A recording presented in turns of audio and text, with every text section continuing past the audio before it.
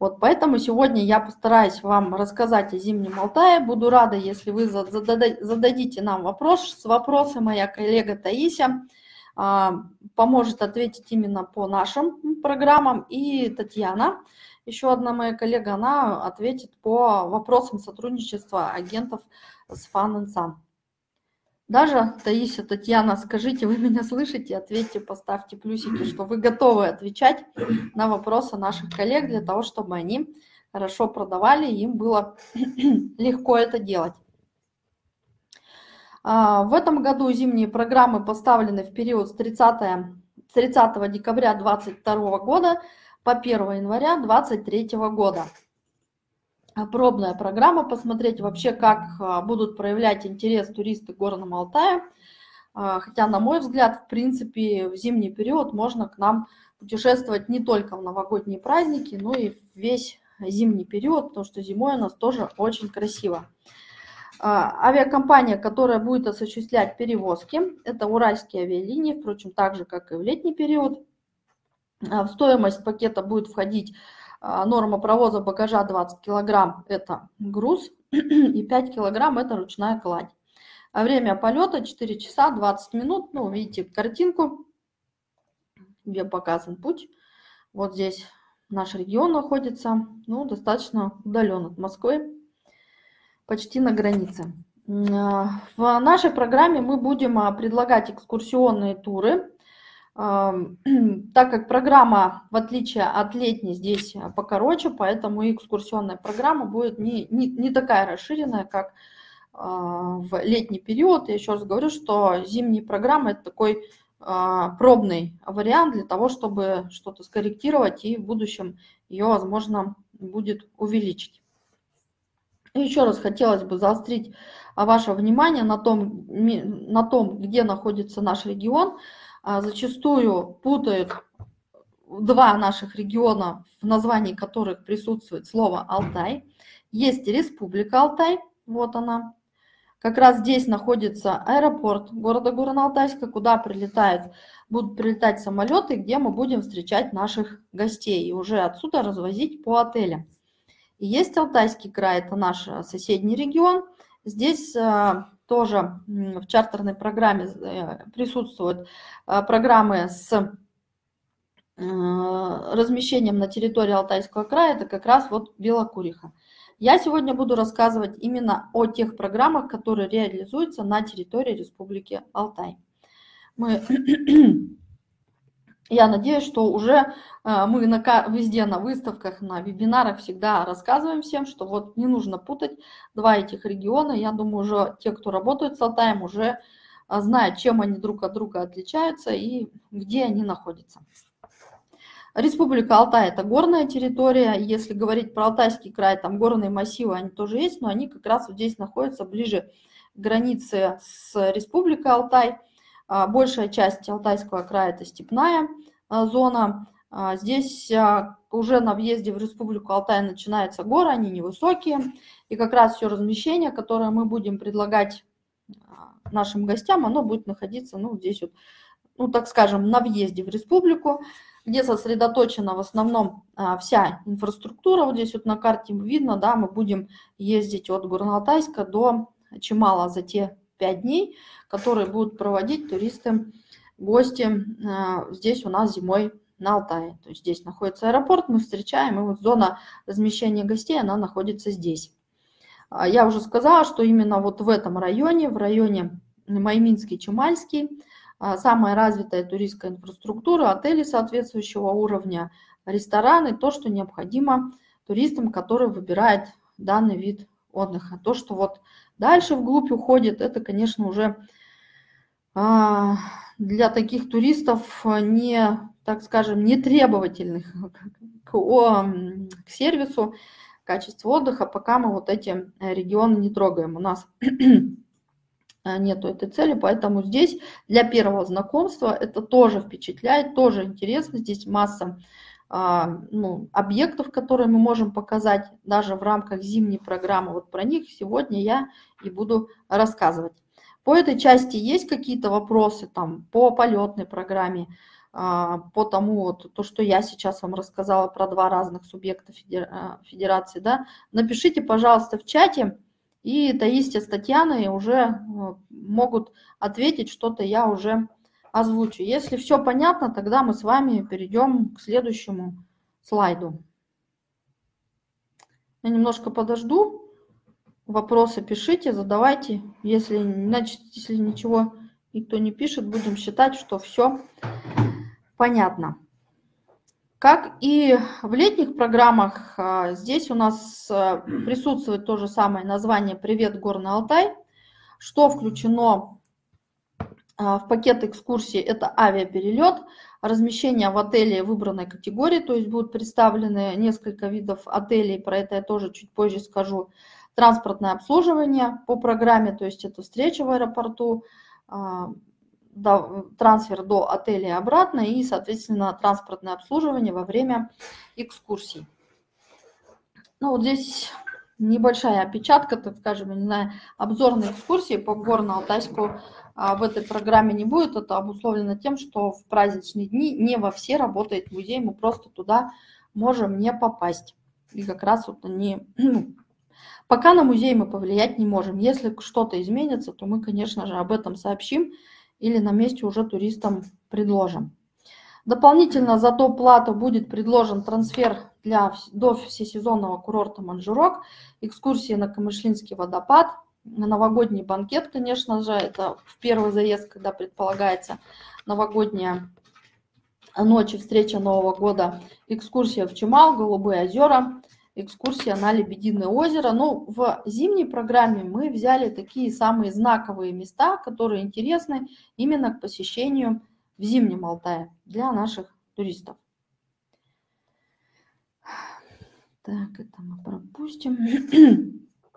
На сегодняшний день все сезонный курорт Манжурок, он как раз находит, а, достаточно быстро развивающийся, и с каждым годом инфраструктура этого курорта расширяется, увеличивается. Я буквально вот два часа назад была на встрече с представителями всесезонного курорта Манжурок. Они нам рассказывали о перспективах развития и сказали, что уже в этом сезоне будет функционировать 22 километра трасс.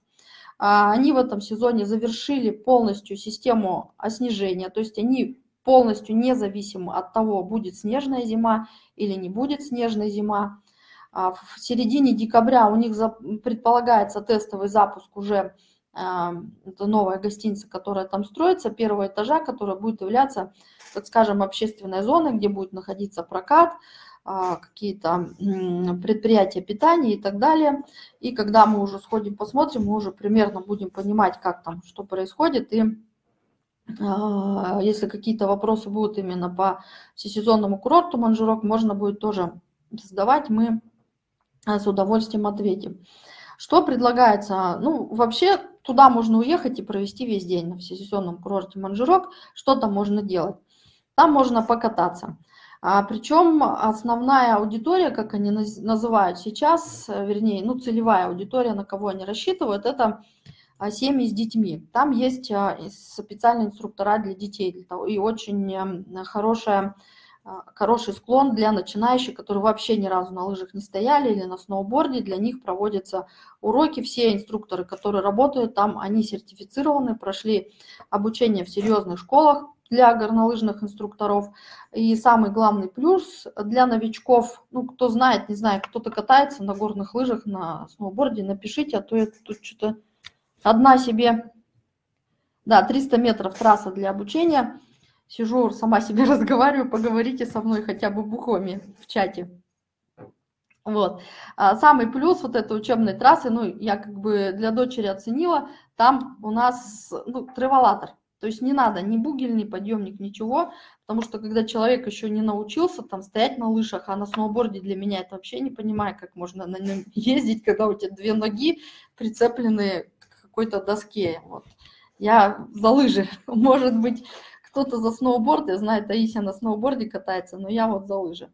Вот, но я к тому, что там очень удобно, вот именно учебный склон его, многие отмечают, что там хорошо учиться, именно вот этот вот треволатор, который позволяет спокойно доехать до начала горы и скатиться, она там не такая крутая, вот как раз для новичков. Потом, когда они уже там осваиваются, можно выбрать склоны, там есть такие достаточно пологие, не страшно на этих склонах а, спускаться тоже для начинающих. Плюс а, прокат очень большой в ВК Манжурок имеется снаряжение игр на лыжи, ну, в смысле и лыжи, там есть и сноуборды, каски, ботинки, шлемы все это имеется в наличии, есть даже премиум прокат, там чуть подороже и немного другого уровня а, снаряжения предоставляется. А, дальше, сейчас а, в процессе переговоров мы находимся по поводу, ну вот даже Татьяна еще не знает, а, каких-то особых условий для наших туристов. Все это тоже, как только мы закрепим, я все это вам а, пропишу, и Татьяна э, доведет до сведения, что можно делать. Кроме горных лыж и сноуборда, чем еще можно заняться? Конечно же, там для детей, которые... Вот. Давайте проведем конкурс в чате. Кого больше, горнолыжников или сноубордистов? Так, у нас пока это Таня за лыжи, Таисия за сноуборды. Я за лыжи, значит, нас больше. Поэтому горно... лыжи побеждают. Вот еще один присоединился, третий. Давайте еще одни лыжи, классно. Здорово, приезжайте все кататься. Вот.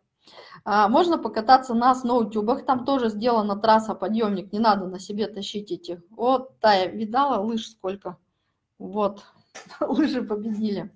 Хотя у нас участников больше, чем ответов.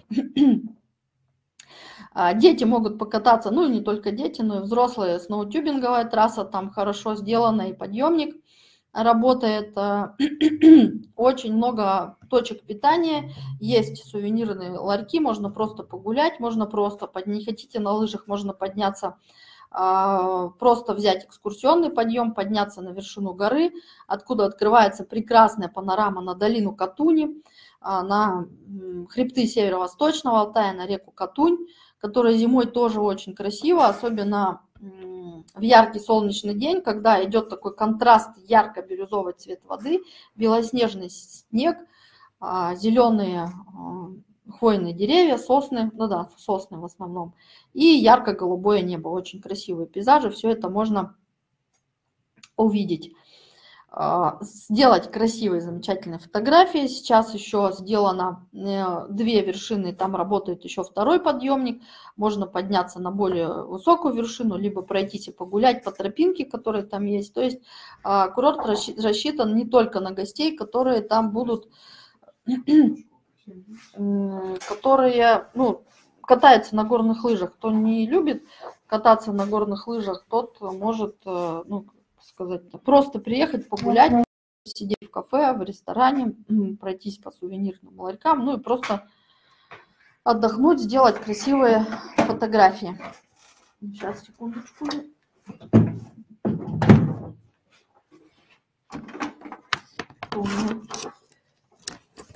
Вот.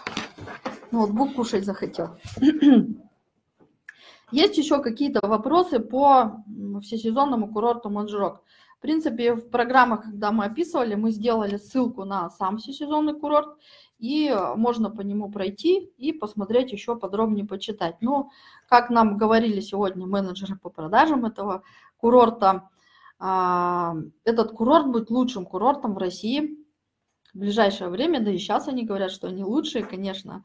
Я думаю, что когда стройка закончится и в все трассы, которые они планируются, они будут введены в действие к 2025 году, поэтому достаточно перспективное направление, они, а, как сказать там, говорят, что хотят очень сильно, нет, не так, как выразиться, хотят победить Шерегеш, что ли, нет, а, ой, что такое-то хотят стать лучше, чем Шерегеш и привлекать такой же поток туристов, но не знаю, посмотрим, как у них это получится. И нам, конечно, интересно, чтобы поток туристов-горнолыжников к нам а, вот там, ну вообще в принципе в зимний период приезжали. Это таким образом увеличивает у нас э, период зимнего сезона, не только вот эти новогодние каникулы, хотя с каждым годом людей все больше и больше приезжает именно, ну, как мы считаем, низкий сезон, там январь-февраль.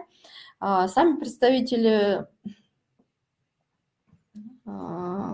курорты говорят, что в принципе у них загрузка идет достаточно стабильная, но хотелось бы не сказать, что она стопроцентная, и тем более, что они увеличивают свои возможности. Была названа такая цифра, как емкость горы до 5000 человек, когда все трассы будут запущены, соответственно, сам номерной фонд отеля, который они там построили, до 1000 человек они озвучили.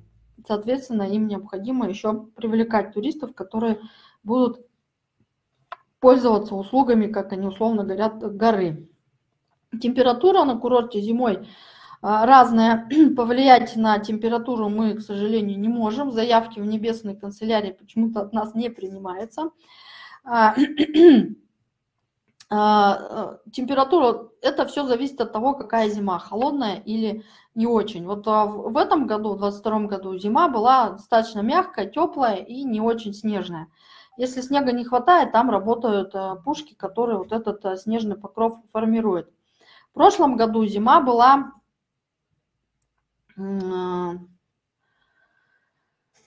морозная и много снежная. Бывали морозы и до 30 градусов, но я хочу вам сказать, что мороз минус 30 в нашем климате, он переносится легче, чем мороз где-то там в центральной России, ну просто на, на себе это испытали, что вроде приезжаешь в Москву, там вроде минус 15, минус там 20, и ощущается, как у нас минус 30. Не знаю, Таисия не даст соврать.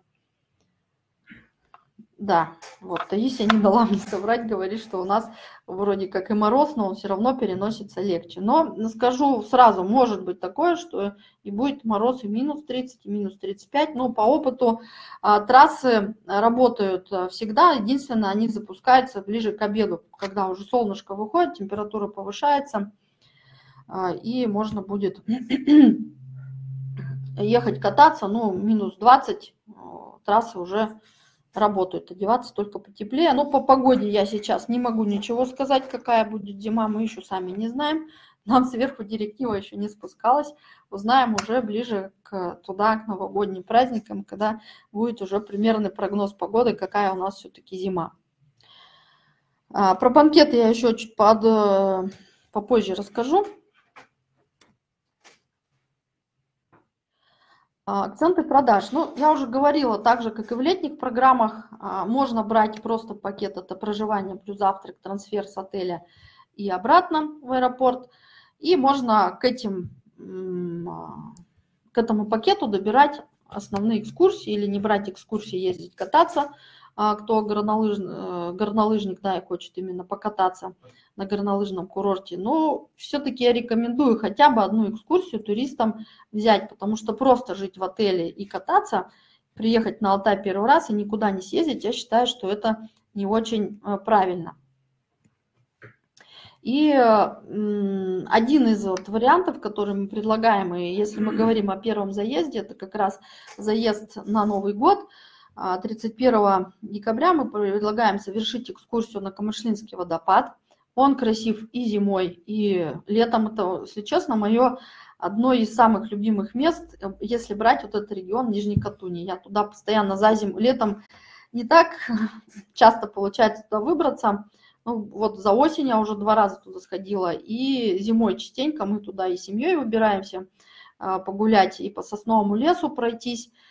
А, полюбоваться на водопад, подышать сосновым воздухом. И Кратунь в этом месте тоже красивая, там есть открытые места, очень красивые картинки пейзажные, вот через а, сосновый бор ну, выступает, так скажем. Прогулка такая, она не, на, не тяжелая, то есть 2,5 километра туда в легком темпе, обратно. Она еще и профилактическая, вы полной грудью вдыхаете лечебный алтайский воздух, то есть одни плюсы от этой экскурсии. А еще там очень есть замечательное место, когда только экскурсия начинается, мы проходим по а, навесному мосту через Катунь, в районе Царской охоты, где вот сама пешая часть начинается. И там тоже очень красиво и можно сделать фотографии на фоне реки Катунь. Вот это, там есть выходы воды этой самой красивой бирюзовой, причем она даже зимой а, более яркая, насыщенная, чем вот сейчас она осенью бывает. А еще, когда идет контраст, белый снег и вот эта ярко-бирюзовая вода, это очень а, красивые такие фотографии, ну и впечатление. Никто еще ни разу не пожалел, что сходил на Камышлинский водопад. Так, ну, тут я вижу, Татьяна отвечает в вопросах наземное обслуживание. Именно по экскурсии на Камышлинский водопад все понятно. Может быть, кто-то был у нас в рекламнике, может быть, кто-то был летом. Кто сейчас в чате, вы были в летом у нас в рекламнике или осенью? Ходили на Камышлинский водопад? Как вы вообще? Вот. Татьяна была, конечно. Татьяна, надо приехать зимой и зимой еще там побывать, и потом провести сравнительный анализ, и можно какую-нибудь научную статью написать. Ладно, хорошо, давайте перейдем к следующей экскурсии, их не так уж много, которые мы предлагаем гостям. Это а, вот, ну, как бы последовательно идем, да, 31 30 они прилетели, разместились, а, мы даем свободное время, кто хочет, мы организуем перевозку до а, всесезонного курорта Манжирок, там они катаются, гуляют, вот. Дальше вечером это банкет, Алтайский Новый год. Таисия, пожалуйста, ответь, э, где будет банкет для отелей городских – а отели, которые расположены в черте а, вот этого всесезонного курорта Манжирок, это эко-отель «Таежник» и Подгорица, а, новогодний банкет будет проходить в ресторане «Таежник». Мне удалось уговорить нашего знаменитого на местном уровне артиста а, Эмиль Толкачоков, он просто своим, это алтаец, заслуженный артист Республики Алтай, он выступал в телепроекте «Новая звезда». Ну, его только ну, ты его увидишь, уже сразу хорошее настроение, очень такой зажигательный. И э, я думаю, что программа будет прям огонь. Вот, поэтому всем рекомендую, э, рекомендую приобрести э, этот банкет. И над самим меню мы тоже поработали и постарались сделать его именно, так скажем, на основе, ну, мы вообще в организации питания таежники используем местную продукцию, местный колорит. Э, в новогоднем меню тоже это имеется. Я сейчас не буду рассказывать, что мы там, чем мы гостей будем кормить. И это новогоднее меню, что-то, я не помню, если мы не скинули, Татьяна, скажи, напомни мне, я скину. То есть оно у нас уже готовое есть. А, так, про зимние прогулочные дорожки. Да, а, там, где мы ходим на Камышлинский водопад, там все, нету такого уровня снега большого по колено, там все всегда, людей много проходит, они утоптаны. Если где-то есть скользко в районе Камышлинского водопада, там за дорожками следят, их посыпает. Да, хорошо, меню я скину, это важно, потому что когда его читаешь, слюнки бегут, хочется скорее прибежать на новогодний банкет, все попробовать. Самое главное – провести этот вечер с нашим замечательным Эмилем. Он еще и хорошо поет, горловое пение исполняет. Вопросы есть по Алтайскому Новому году? Да, вот кто живет на, на эко-отеле «Таежники», у них будет чуть подороже, потому что у них трансфер не включен. Тот, кто живет в Подгорице, у них будет этот новогодний банкет подороже, то есть э, так как включен трансфер, то есть их сюда привезут на а, таежник и увезут в пути где-то минут 10-15, не больше, то есть это все рядом. Вот, после того, как э, прошли замечательная новогодняя ночь, все весело и сытно встретили Новый год, но еще тур на этом не заканчивается. Но 1, 1 января день мы сделали такой, ну, скажем, экскурсии там никакие мы не ставили. Опять же, это можно погулять в окрестностях отеля, либо съездить на тот же а, ВК Манжирок для того, чтобы покататься. Еще одна экскурсия, которую можно будет а, взять, это экскурсия в Чемал и Воскат на Голубые озера. То есть эти два а, таких популярных объекта, которые туристы, которые приезжают на Алтай, всегда хотят увидеть. В зимний период, э, так же, как и в летний, ну, летом мы Голубые озера не посещаем, потому что их нет из-за уровня воды.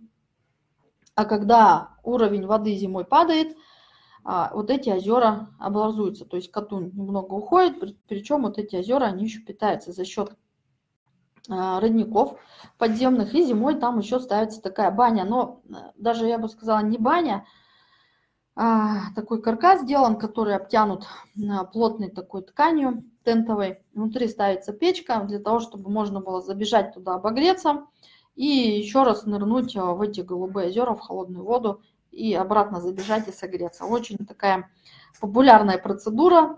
Туристы, многие, ну не все, конечно, которые доходят на Голубых озер, а, совершают такой обряд, но есть а, смельчаки, которые там купаются. Конечно же, я тоже пробовала такую процедуру совершить, купалась в Голубых озерах, но такие прям, ну, прям бодряк такой свежак.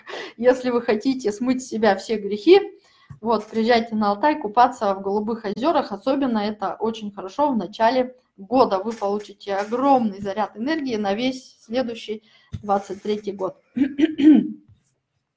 А, до, до Чемала мы довозим и, конечно же, показываем самый популярный объект. Это остров Патмос. Если видите на картинке, вот он находится.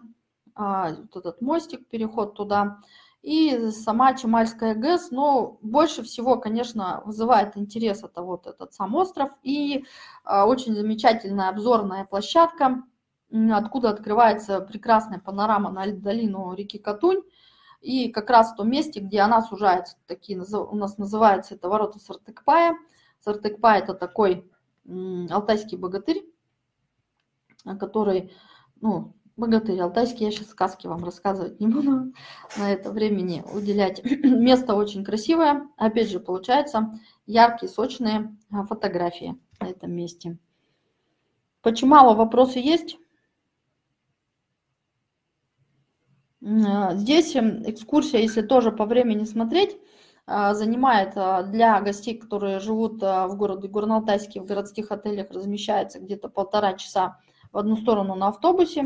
Соответственно, в автобусе сопровождает профессиональный экскурсовод, который все время рассказывает соответствующую информацию по пути следования. А, и если те, кто размещается в зоне Манжирока, то это минут на 40 э, покороче а, в пути. Ну и, соответственно, выход на Голубые озера, там а, два способа дохода до Голубых озер идет, либо через Катунь, Э, если она замерзает, если не замерзает, то по левому берегу, по сосновому а, бару. Да, вот, кстати, хороший вопрос, как предусмотрен обед для туристов. А, в стоимость экскурсии обед не заложен, но мы э, предлагаем туристам, завозим в кафе э, в Чемале. Уже летом отработан этот механизм, выяснили, выяснили мы, какие кафе будут работать зимой. А, к счастью, в этом сезоне в Чемале появилось несколько достойных кафе, в которых можно, не стыдясь, накормить наших гостей, и все будет устраивать. А, примерный чек на обед – это от 450 рублей и ну, до 850 в зависимости от того, какие аппетиты у туриста и что он заказывать. То есть, ну, как правило, гид на выбор предлагает, где вот, что вот здесь можно вот это попробовать, такой ценовой диапазон, и здесь уже, как правило, группа решает, куда заехать.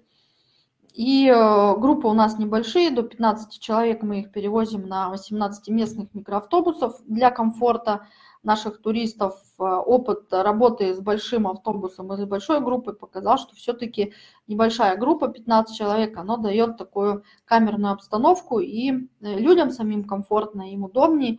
И в 18 местном автобусе размещать по 15 человек тоже такое правильное решение, чтобы все могли в окна микроавтобуса увидеть ту красоту, которую он проезжает, потому что на Алтае ну, действительно можно останавливаться через каждые 5-10 минут, фотографировать, фотографировать и еще раз фотографировать. Везде у нас красиво и интересно.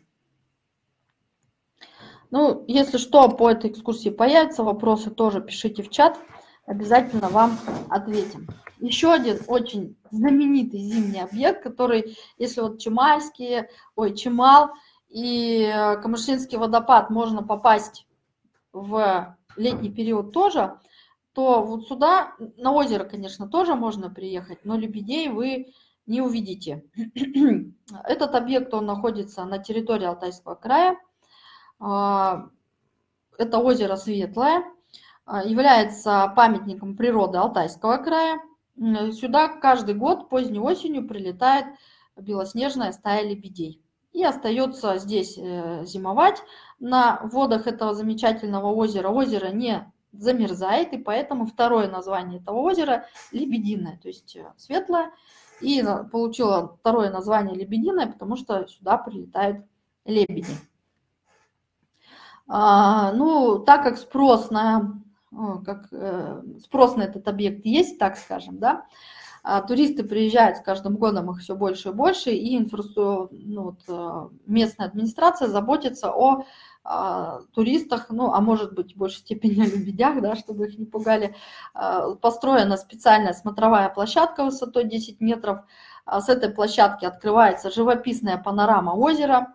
Можно понаблюдать за процессом подкормки лебедей с ловушек, которые закреплены над водой. Можно поближе подойти, ну, поближе рассмотреть этих замечательных птиц, сделать фотографии, и там есть, можно купить корм и покормить этих замечательных птиц. Вот, это где-то экскурсия на полдня. Во время экскурсии также мы можем предложить гостям варианты питания. Обед также в эту экскурсию не включен. А, ну, как бы все, кто зимой приезжает и уже наслышаны, и это озеро, оно разрекламировано, да, и, ну, как бы не включить его в программу нашу зимнюю было бы неправильно. Вот. А вы бы поехали на Лебединое озеро? Интересно было бы вам посмотреть на лебедей, их сфотографировать? Кому интересно, скажите, пожалуйста.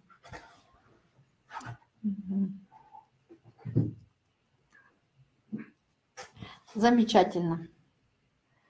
Все хорошо. Тогда мы... Э, это вот основные наши э, экскурсии именно на вот этот э, коротенький пятидневный тур. Какие, какие мы можем предложить? Конечно же, это и прогулки, но вот забыла еще сказать, что на ВК Манжурок там можно еще и на беговых лыжах покататься. А, если вот про каток, каток тоже там заливается, то есть там масса всяких развлечений. И от отеля, которые а, мы будем предлагать для размещения, они находятся недалеко, и трансфер мы организуем до отеля э, и ВК Манжурок и обратно.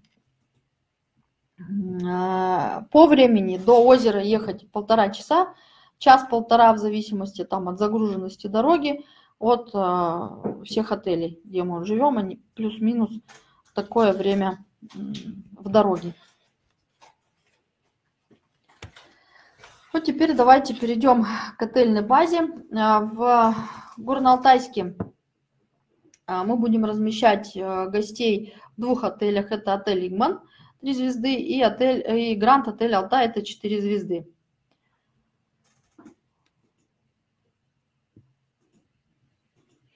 А, в этих отелях мы уже летом а, туристов размещали. Отзывы полученные достаточно хорошие, поэтому эти отели вошли и э, в зимнюю программу. Они соответствуют требованиям, всем требованиям, предъявляемым к отелям 3 звезды и 4 звезды. А, большие, уютные, просторные номера, хорошая уборка и так далее. А, Таисия, напиши, пожалуйста, про банкет, если определились, в каком месте будет банкет для отелей городских, сюда в чат. Дальше, следующий отель, который используется в программе, э, вернее, будет включен в программу размещения наших туристов, это эко-отель э, Таежник. Он расположен у подножья горы Черепан, недалеко от села Манджирок, а, села Манджирок. И до всесезонного курорта Манжурок ехать буквально 10 минут. Если от городских отелей смотреть, то ехать минут 40 от города Горно-Алтайска до всесезонного курорта Манжурок.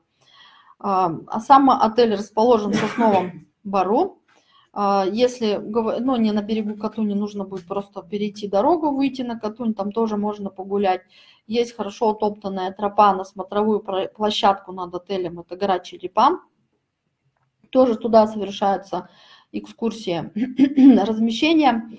А, предлагается в трех, а, в двух, вернее, а, категориях. Это стандарт плюс в номерах, которые сдвоенные вот такие коттеджи. Здесь раз номер и два номер. И будут сейчас у нас в процессе строительства модульные дома А формы а, мы как раз вот по гранту, который выделяли Ростуризм, вошли в эту программу, и будет у нас 10 новых номеров, которые мы как раз отдаем под э, чартерные программы. В номере э, кровати а, э, они конструкторы, то есть можно сделать двухспальную, можно сделать раздельную, и предполагается трех, трехместное размещение, то есть есть еще доп. место в виде полноценного дивана, который раскладывается. А, есть пакеты, в которых включен завтрак, есть пакеты, в которых включен завтрак и ужин, и есть возможность а, есть возможность э, по, э, покушать в ресторане по меню. Да, до тай, в таежнике магазина нет. А, ближайшая сеть магазинов находится в селе Манжурок. Туда можно заказать такси, оно стоит 100 рублей. В принципе, мы туристам, когда они заезжали, всегда в чат писали номер такси, и за 100 рублей можно было съездить э, в магазин. А, пока в отеле «Таежник» завтрак не шведский стол, мы эту историю планируем внедрить в следующем сезоне. Вот, а в зимний период пока будет комплексное меню на завтраки.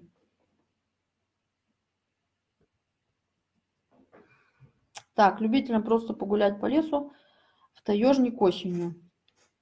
А, осенью тоже а, можно погулять и съездить. То есть там не сказать, что у нас прямо таежник находится в каком-то отдалении, в диком углу и нечем больше заняться. Все в легко доступной форме. Можно доехать и до Бирюзовой Катуни сходить, пещеры посмотреть и съездить, да, опять же, в всесезонного курорта Манжирок – а, погулять по Катуни до Чемала час езды тоже. То есть э, смысл ехать на Алтай есть всегда и осенью, и зимой.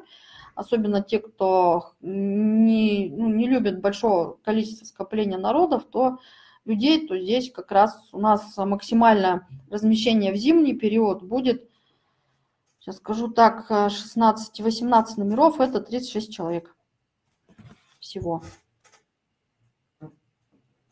Отопление а, электрический пол и дополнительно обогреватели. Уже тест э, проходили даже в самую холодную зиму в 2019 году.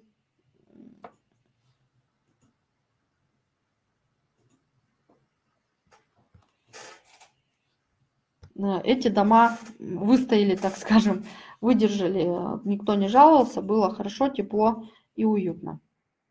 Следующий отель а, это отель Подгорица, также расположен в Сосновом лесу, только если таежник на правом берегу, Подгорица расположена на, на Это отель трех звезд, трехзвездочный. Здесь также, здесь пакет завтрак и ужин включен, вот здесь завтрак и ужин у них а, по типу шведский стол. Э, единственное, что здесь а, различается, если, допустим, в таежнике мы можем, ну, как бы разместить в номере как и двухспальную кровать, так и раздельные кровати сделать, то здесь нужно будет выбирать. То есть есть квота 5 стандартов double э, и 5 стандартов twin. То есть здесь кровати не э, раздвигаются. Все экскурсии также здесь доступны. Вот, ну, по средствам э, размещения у меня все, то есть здесь по сравнению с летом, думаю, а по сравнению с летом, конечно, меньше информации, но я еще раз сказала, что это пробный, такой э, пробная история. Мы посмотрим, как, как пойдет зима, понравится ли туристам. Но вообще а, зимние туры экскурсионные мы уже делаем давно, и все, кто приезжает, они уезжают с положительными отзывами, отзывами и с положительными впечатлениями о зимнем Алтае. А, давайте, если еще есть вопросы какие-то, задавайте спрашивайте, пишите, мы обязательно вам ответим.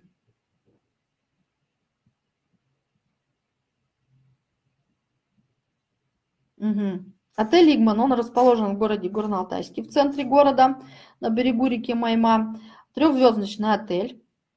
А, опять же, как показал опыт э, летнего сезона вот этого 2022, не, ну, ни одной жалобы туристов не было, всегда чисто убранные номера, всегда четко, всегда все понятно. И, ну, как бы цена-качество именно здесь, в этом отеле, оно, она соответствует. И э, если выбирать какие-то экскурсии, да, не просто сидеть в отеле, а выбирать экскурсии э, каждый день, то, в принципе, отдых пройдет достаточно хорошо и в комфортных условиях. Во всех э, местах размещения связь, да, у нас есть Единственное, на таежнике лучше ловит Билайн и Мегафон, хотя МТС тоже есть. В номерах есть Wi-Fi. А в городе Горно-Алтайске в отелях Игман и Гранд Отель Алтай есть сотовые операторы, все представлены, Билайн, Билайн МТС, Мегафон, и есть Wi-Fi. Верно, та и Wi-Fi -то у них точно должен быть в номерах предоставляется. А, так, И э, на ВК Манжерок там тоже хорошая стабильная связь. А вот еще йота есть, и, конечно, Wi-Fi во всех отелях он присутствует. Ну, это одна из основных потребностей и запросов, которые туристы сейчас предъявляют, наличие Wi-Fi. Даже в нашем таежном лесу мы Wi-Fi тоже провели для туристов. Осенью с ребенком 3-5 лет куда стоит поехать?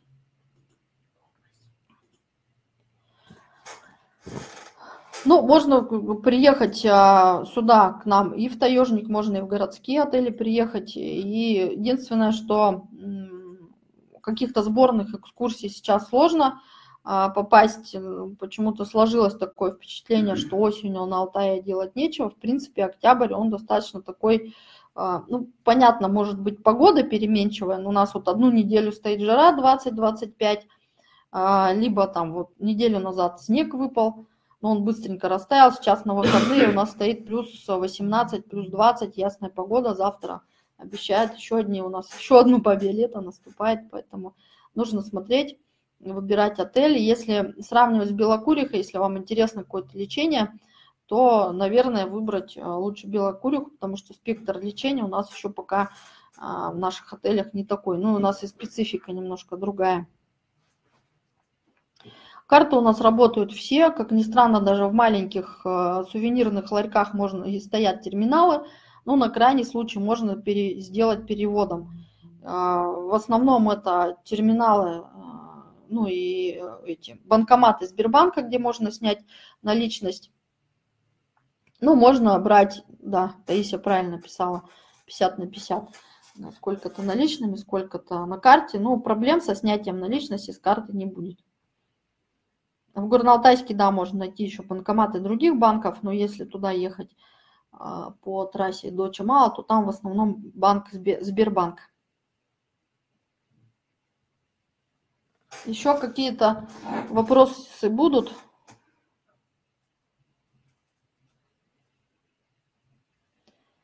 Сувениры, да, про сувениры. Сувениры как раз можно будет купить а, на ВК Манжурок. Там они продаются а, на ВК-отеле «Таежник» также есть небольшой сувенирный магазинчик, где в основном продается продукция, ну, больше такая, как сказать, которую кушают. Вот, э, это и конфеты местного производства, бальзамы, чаи, мармелад. А нет, не только которые кушают, но и производство есть у нас такая компания «Алтайбай», которые делают и мочалки, и даже дезодоранты из алтайских трав, и, ну, и зубной порошок и мыло, и сухой шампунь, все, что душе угодно. Вот их продукцию можно приобрести. Мочалки, а, это Тая пишет, да, мочалки классные. А, на курорте Манжурок там очень много этих ларьков, и у них очень интересная такая сувенирная продукция, они уже подстраиваются под запросы туристов. Ну и в Чемал еще, когда поедут, там тоже есть э, сувенирные ларьки, там можно взять и травяные сборы э, местных, опять же, травниц, которые вручную их собирают, формируют сами, сами же их там продают.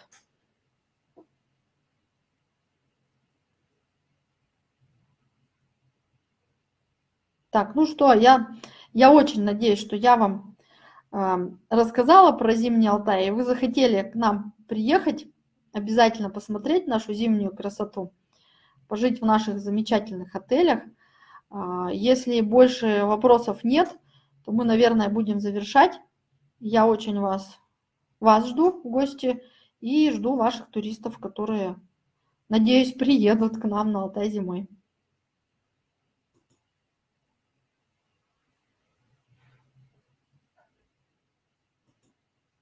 Да, то есть, ну, Таисия правильно сказала, что можно забронировать экскурсии уже на месте, когда они приехали.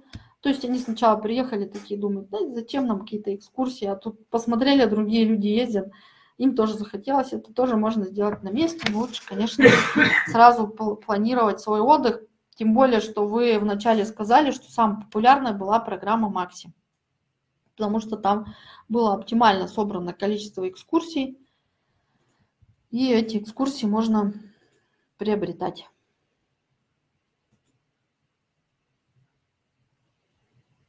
Может быть, еще какие-то нюансы есть, непонятны вообще. А, многие боятся продавать Алтай, потому что непонятно. Многие, но я надеюсь, кто здесь в чате находится, вы не думаете, что у нас тут совсем захолустья плохие дороги и ходят медведи с балалайками. На самом деле здесь не так. И как раз э, там, где мы наши туры, э, наших туристов размещаем, это как раз, я уже про это говорила, э, центр, и здесь инфраструктура достаточно развитая. Многие туристы приезжают и говорят, что ой, а мы думали, что у вас не, не так все хорошо, как на самом деле. Ну, нет, клещей бояться в наших экскурсионных турах их не стоит, потому что мошек у нас нет, сразу скажу. Э, клещи, ну, допустим, отель Таежник, Подгорица, они находятся в Сосновом Бару. Э, мы перед сезоном всегда территорию обрабатываем два раза. То есть в конце апреля, еще в мае. Э, специальными растворами приезжает специальная служба. Мы просто даже работать не имеем права начать. Роспотребнадзор это все контролирует. И все территории объектов экскурсионных, они также обрабатываются. Мы даже обрабатываем если проводим какие-то корпоративные мероприятия, выезжаем в лес, прежде чем туда людей вести, мы эту территорию обрабатываем. Опять же, специальным раствором от клещей. Поэтому не бойтесь клещей, все нормально. Мы же тут живем, никто, никто не вымер. Меня, например, клещ крушал, кусал раз 10. Я прекрасно себя чувствую, жива, здорова, все хорошо. Вот этот вопрос поставил меня в тупик. Сколько стоит прокат лыж палки плюс день? Я уже сегодня вам говорила, что все сезонный курорт Манжурок обещали нам сделать предложение специальное для наших туристов именно вот по этому пакету и по всему.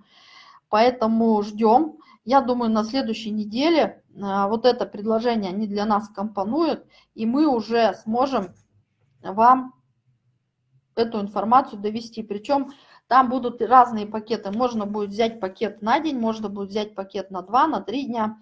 И, соответственно, чем больше вы берете в прокат, ну, тот же, э, сколько дней вы скипас берете, тем получается дешевле в один день. Но для нас обещали специальные условия, но пока еще я жду ответ. Хотела, чтобы мне сказали эти цифры к нашему вебинару, но вот, к сожалению, не получилось. Как только эта информация будет доступна, я думаю, Татьяна, на сайте вы разместите, да, это будет прям такая, наверное, даже замануха.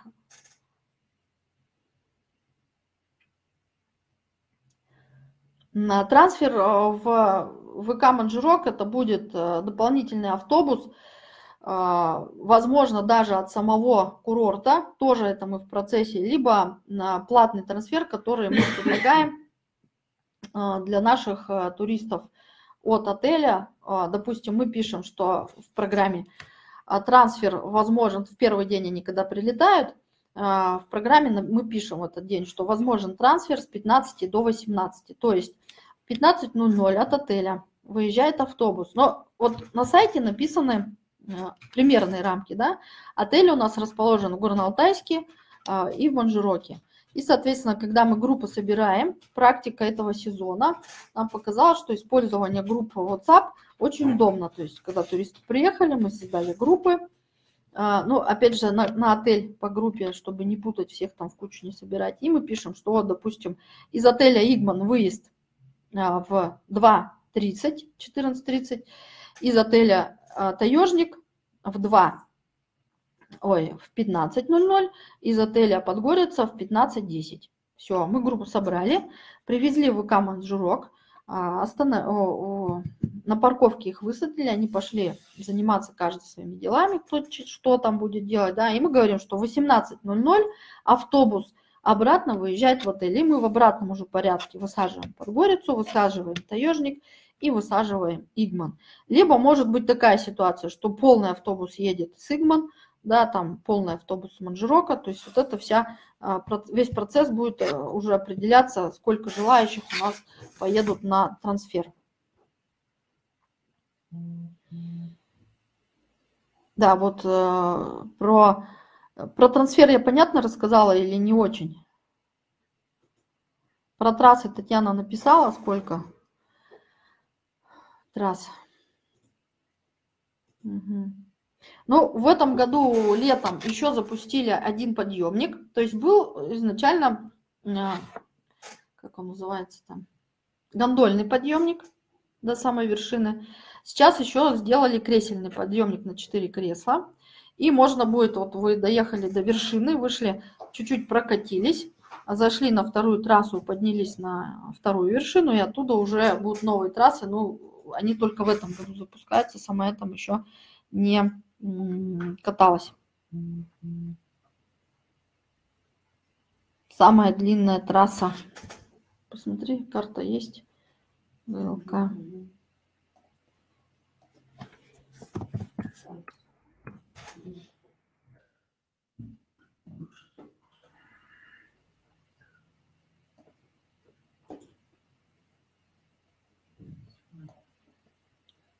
Смотрим. Где ты нашла? Услуги.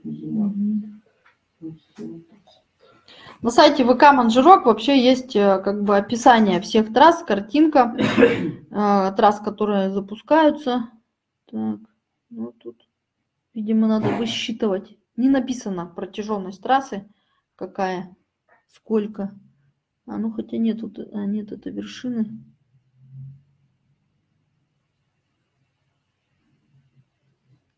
Сейчас я скину ссылку, где можно будет посмотреть. Ну, там нет. Вот смотрите, я вам ссылку скинула. Вы зайдете, там есть схема трасс. Там, к сожалению, не написано, какая, какая трасса длиной каждой из этих. Но зато есть представление. Да, вот оранжевая нитка – это подъемник, от нее трассы куда идут. Но по сравнению с прошлым годом тут значительно добавилось новых трасс и протяженностью, и по сложности. То есть появились даже красные трассы. А, даже и черные. Черных не было. Поэтому курорт развивается. И я думаю, что в скором времени он составит а, такую хорошую конкуренцию Шерегешу. Ну, мы как соседи этого курорта очень этого хотим. Так, еще вопросы будут?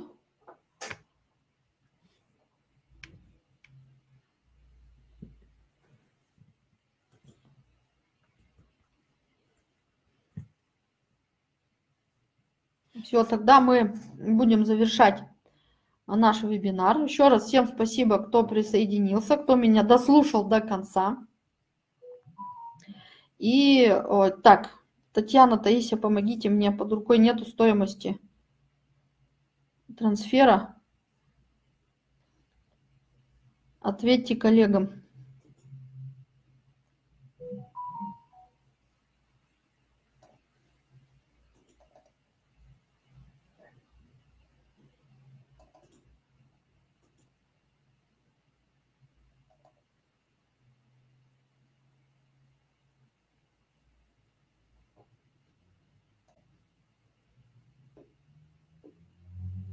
Да, это в туда-обратно, в обе стороны, с ожиданием. То есть автобус уезжает в оба конца, да. С ожиданием вместе там. То есть автобус приехал, там их оставили и обратно увез.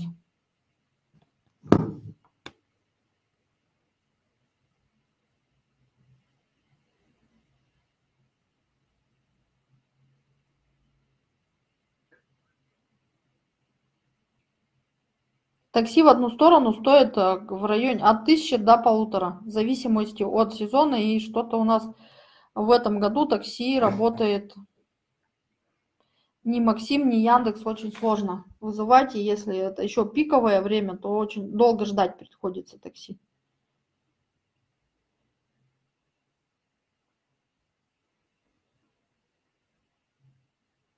То есть если ехать на такси, то это будет э, в районе, ну, туда-обратно двух с половиной трех тысяч. И еще не факт, что он за вами приедет. Тем более, если это новогодние праздники, то тариф там будет другой, соответственно.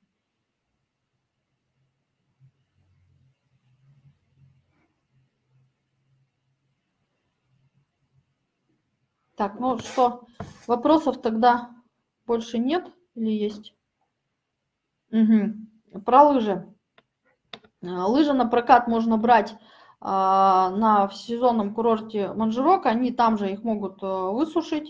Все там есть, а, прокат работает. Снаряжение там достаточно хорошее. Можно не таскать лыжи туда-сюда. Можно их там взял, там оставил, потом пришел, опять взял и так далее.